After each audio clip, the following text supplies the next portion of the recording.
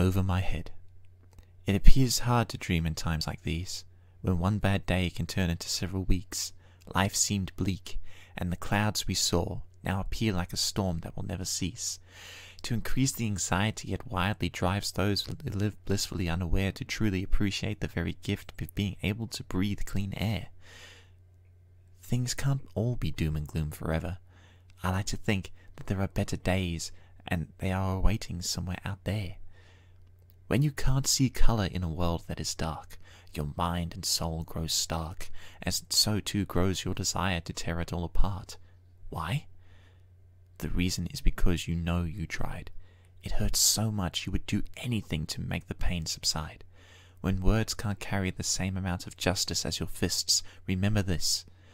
By the laws of science, nothing can be destroyed or created. It merely goes somewhere else.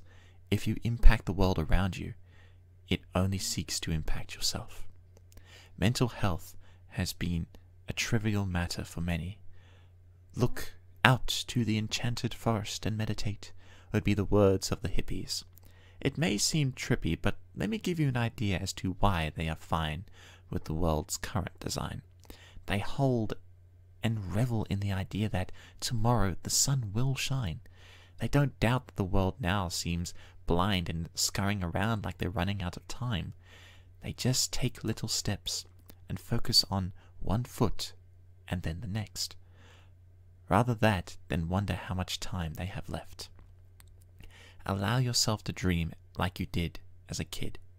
A planet made of marshmallows encircled by rainbows, and a cup of hot chocolate in your tiny hands, held on by a little blue lid. The Saturdays when you would wake up at the crack of dawn, and to this day you are surprised you could do that then, but not anymore. Or how you could lay on your back and make a snow angel in the carpets on the floor, tracing the tracks and seams of everything like it was one big puzzle just waiting for the world to see. Think curiously, and the darkest day, even for a moment, will shed a little ray of sunshine for both you and me.